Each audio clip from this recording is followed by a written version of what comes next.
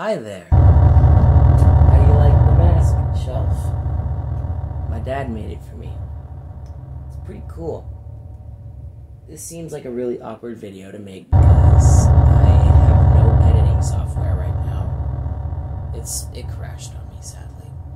But I thought it'd be nice to show you all my mask hanging shelf that my dad made for me. I had to remodel it a little bit myself after he did it because um, one of the masks that was really hard to hang up was the green green Japanese oni mask.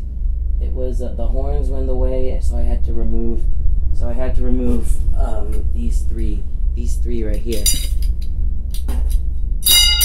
Oh, never mind that. Anyways, we'll have a look at what masks we got.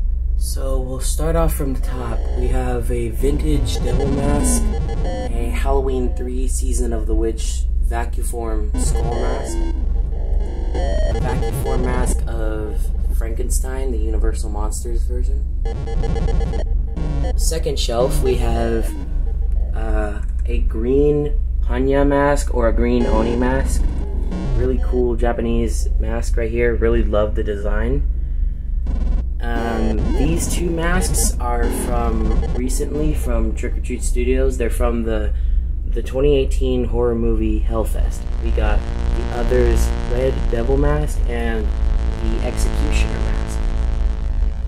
Last shelf we have a black hockey mask, a vintage Phantom mask, my half my half mask, a mouthpiece that resembles a brownish skull a glow-in-the-dark hockey mask.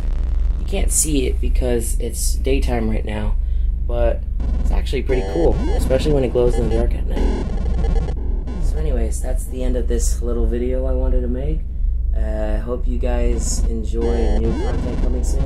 Chamber of Horrors coming soon. Have a, have a happy early Halloween. Spooky month is finally upon us. Hope ye all enjoy and God bless you all. Thank you.